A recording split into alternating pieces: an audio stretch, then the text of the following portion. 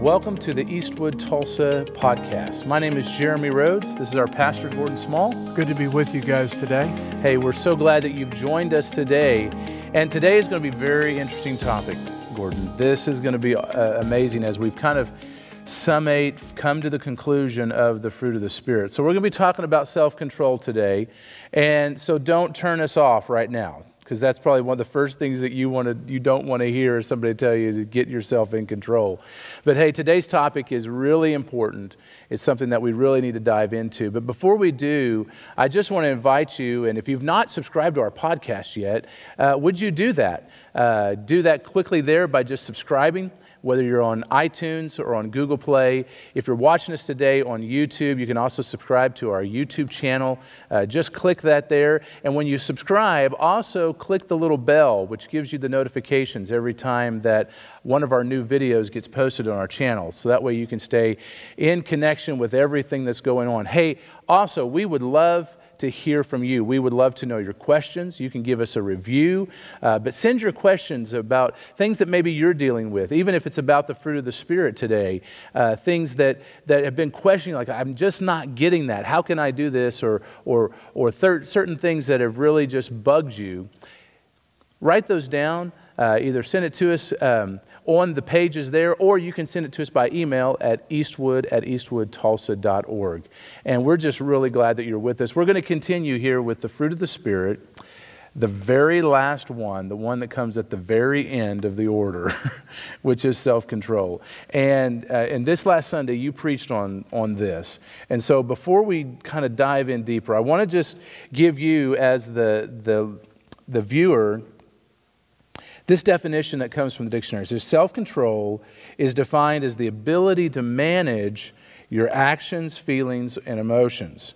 And Wikipedia also expounds on this to, to give us kind of the, the opposite side of this. So, if that's what self control is, then there's the other side that says individuals with low self control tend to be impulsive and sensitive towards others, risk takers, short sighted, nonverbal, uh, the general theory of crimes hold that self control is established at an early childhood.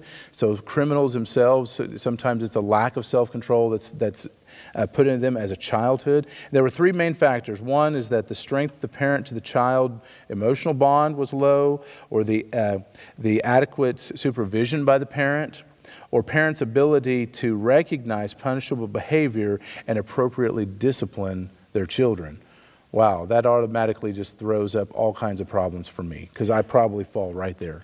Yeah, I read I read that online and it made me realize that you know our world is out of control and yeah. people are doing whatever they can to control their behavior right. or at least society Some wants is. control right. of behavior that's why we have problems and I found that it's just not adequate. I mean, without the Spirit of God, we're really at a disadvantage to try to self control. Right. And then the problem occurs that if I am controlled in my behavior, then I'm immediately going to be critical of someone that is not right. without right. even knowing what's going on in their lives. Yeah. So it's really, really difficult. Well, Gordon, I have a confession. Okay. I really have a problem with self control. And what is that in? In, in ice cream and ice cream. Yes. So, so thank if you I, for bringing that I up. I just want to have a little confession is good for the soul. No, literally, if I get around ice cream, it can be a problem. I mean, yeah. if you've ever got a picture in your mind of the Tasmanian devil going through the buffet line, that's me going through ice cream. I love ice cream. And it, it becomes a problem. Now, I'm using, that's obviously something that's funny, but it can be a problem. Um, you know, I think all of us in certain areas of our life we have an issue with this problem called self control yeah. or the lack thereof. Yeah. And so, can you just kind of take us back? Let's, let's kind of unpack and go a little bit deeper into you know, the self control that, that the Apostle Paul's talking about here. Yeah. In context with the fruit of the Spirit, being that it's the very last in the listing. I thought about that a lot. Why does he list that last? Why mm-hmm. didn't he start with that?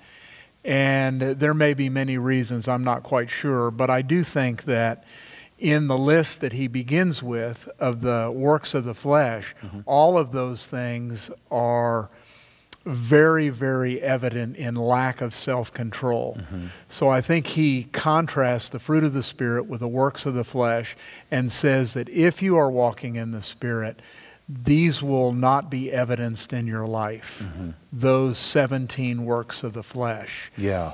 And what I have found, the, the temptations or the works of the flesh that are most difficult affect all five of our physical senses okay. hearing, seeing, tasting, touching, and smelling. So take it, what, okay, what does that mean? What, what, like, what type of sins are we talking about? I mean, obviously well, there's a lot there with five senses. The two most obvious that are most, that affect all five are food and sex. Okay. Those affect all five physical senses. So any, anything that is that affects those five so strongly, like food and sex, are going to be very hard to self control. Right. You're going to need something other than willpower. Right. So with those types of things, I mean, when you're talking about food, obviously there can be a food addiction, or you have oh, yeah. a wrong or something wrong there. But if it's an addiction, then obviously that can go into other forms of addiction, not just food addictions or even sexual addictions. It can go into drug addictions and alcohol addictions, all kinds of problems. Right, and drugs, uh, a pill drug doesn't affect uh, it doesn't affect your sense of smell. Mm-hmm. You can be psychologically addicted as well as well as physically addicted. Mm-hmm. But the things that we're dealing with, well, food. You mentioned ice cream. I had yeah. it last night. Yeah. I had my favorite. My wife came home with two half gallons from Braum's. Is there still two half gallons? There's actually four in there. Oh, now there's four. How did the, you get well, you these? Never, I need this multiplication sa- anointing you got here, brother. it was on sale, but we're not going to associate eat, overeating ice cream with something that's going to cause a, a moral right, failure right. or hurting some other individual. But underlying that, maybe we don't really want to talk about it, is I really don't have control over my appetites. Yeah and food. We don't. We talk about a moral uh, addiction to mm-hmm. maybe pornography or something like that, right. and we think that's bad. But overeating ice cream is not bad. But they're still right. from the same root. We right. we don't have control over our appetites. Yeah, and we've we kind of talked about this um, kind of off the program earlier today about that we're tempted with a lot of different stuff. You know, a temptation is always there, but really, I mean we don't get to choose what we're tempted with. I mean, no. I think it was interesting with the Wikipedia saying, you know, those the things of lack of self control normally were formed as a child. You know, our, our behavior is there. So we don't get to choose what we're tempted with. But yet, the temptation really doesn't define us. It doesn't no. define who we are. Just because I'm tempted for ice cream doesn't mean that I am a, an ice creamaholic. No. You know, from that sense. It's only when I really partake in it and take it to the extreme is now where I have developed the real issue of addiction. I've allowed, I've had no self control through the whole process. Yeah, and we become judgmental because what tempts me or what my weakness is mm-hmm. is not somebody else's weakness, like I shared in the message. But I think it's also why do you do what you do and what is your underlying right. motivation for not doing what you know you know is right is, is, is right to do? And and Paul always related that to the gospel. He did it for the sake of the gospel not just to be slim or not just to be on right. a diet or or not just to be able to boast that that he didn't have these addictions. He used the the coveting that he right fell under, he said, I was blameless except for that last commandment, thou shalt not covet. And when that surfaced, then right. sin revived and I died. So he was, he was doing it uh, self control for the sake of the gospel, which is what I'm going to talk about this Sunday right. in 1 Corinthians 9. Right. So, why do I do what I do? Why am I on a diet? And we're constantly on a diet. We're constantly bombarded with, you know, get your body slim and we're out of control in that area right. because if you're controlled by the Spirit, I don't want to say this in the wrong way, you won't need a diet. Right.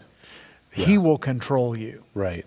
And that kind of also goes on the opposite side where there's also apathy and you just don't do anything. Don't care. Don't, don't care. care. Yeah. Doesn't matter. Doesn't matter. And that is almost worse. And I, when I talk to people or I share the gospel with people, I can almost immediately tell this person doesn't care. So it doesn't mm-hmm. matter what I say. Right. My words, my passion, my desire for them to know Christ, mm-hmm. Eh, they just don't care. And we're in that kind of a culture right. too. Doesn't matter. Don't care. So, you know, if I think a lot of people that are listening today are also, you know, we can sit and we can define certain things that are wrong, things that I should not do, but I'm finding myself doing this is classic Romans chapter 7. Right. You know, we talked about we that. talked about that. The things I want to do, I don't do. You know, and when you go through a life of repeated trying and failing, at some point you begin to give up.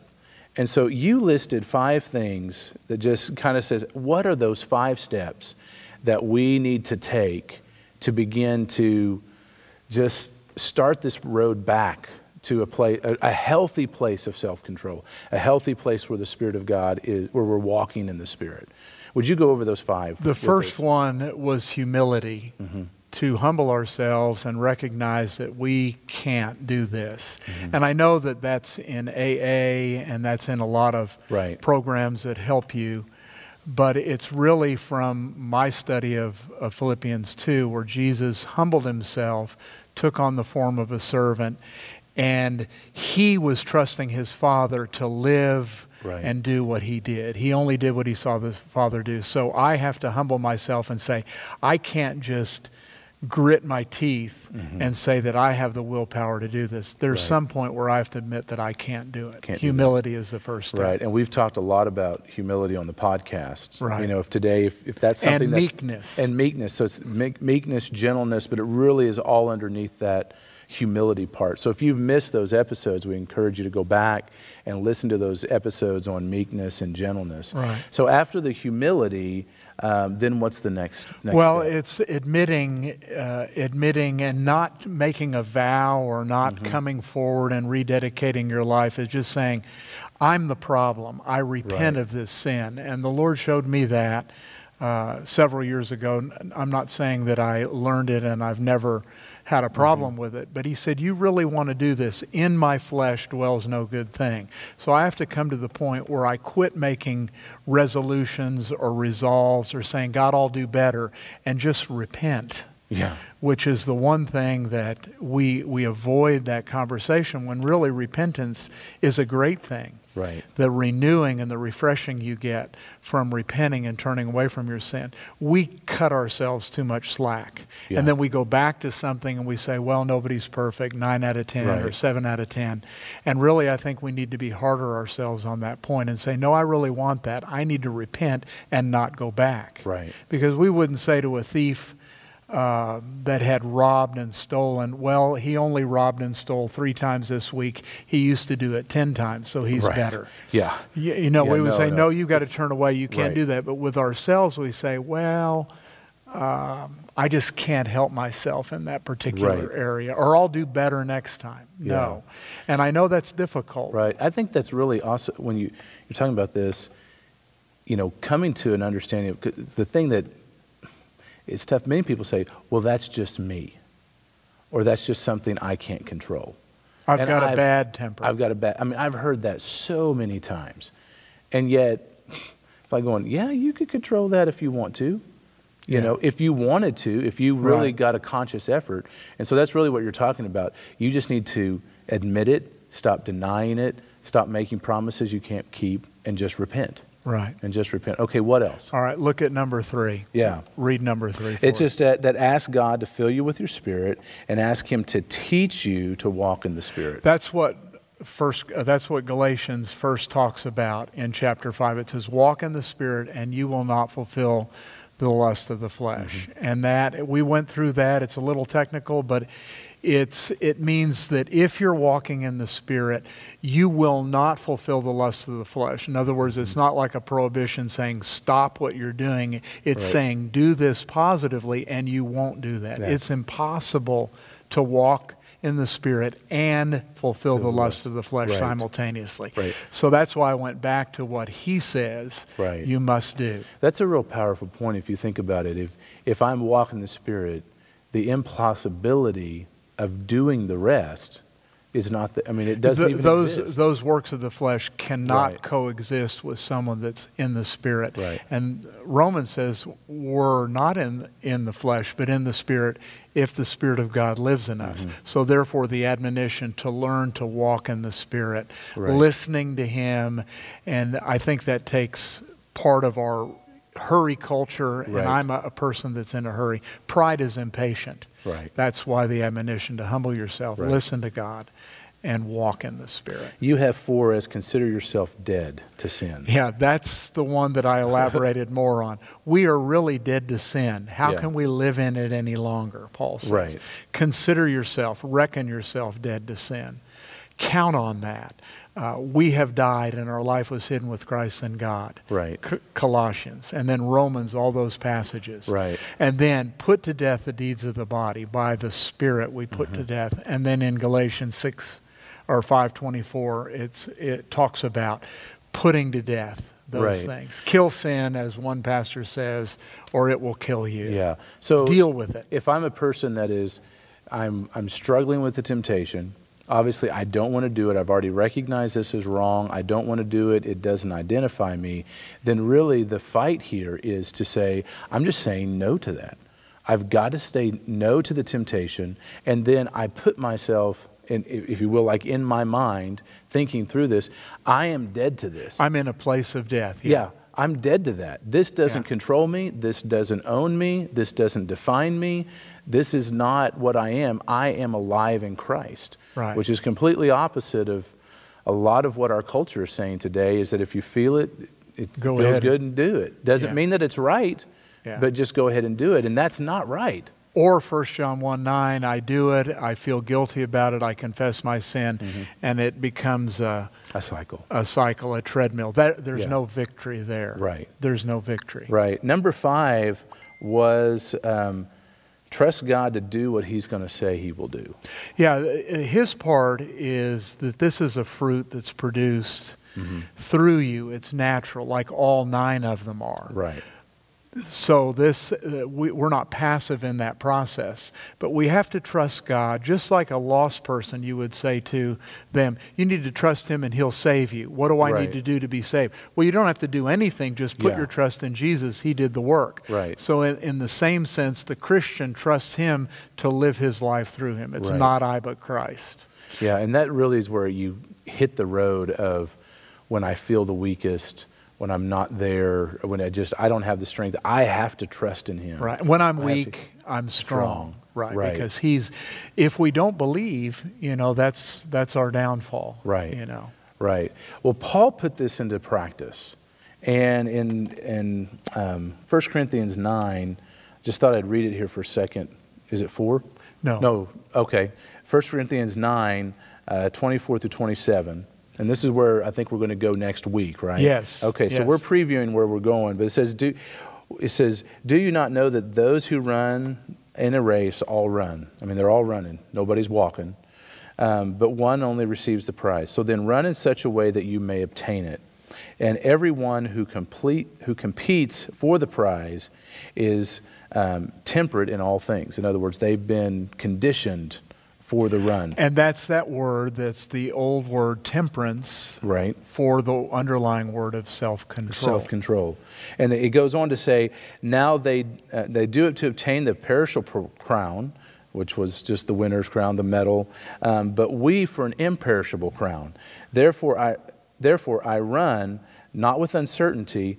Thus I fight, not as one that beats the air, not shadow boxing, but I discipline my body and bring it into subjection, lest when I have preached to others, I myself should be disqualified. Right.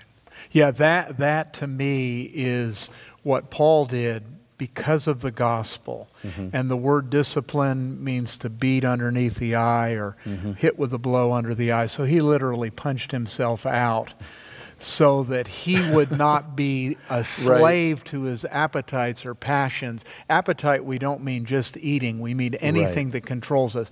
It could be overspending with credit, Right. it could be buying one more uh, item of clothing or having, you know, 25 or better not say 25 pairs of shoes because someone listening might have 40. Right. It's whatever controls you. So Paul said, I'm not going to let anything control me like right. an Olympian would to win the gold medal. Okay. So uh, that really speaks to me. He's in he's speaking to the Greek culture. Right. Corinth, you know, he's speaking to those people that knew what he was talking, talking about. about. But we don't do that. We cut ourselves too much slack. And this is not austerity or being a monk or self right. Uh, uh, humility or beating ourselves. This is for the gospel. I'm not going to do anything that would cause me not be able to run the right. race. Right. Yeah.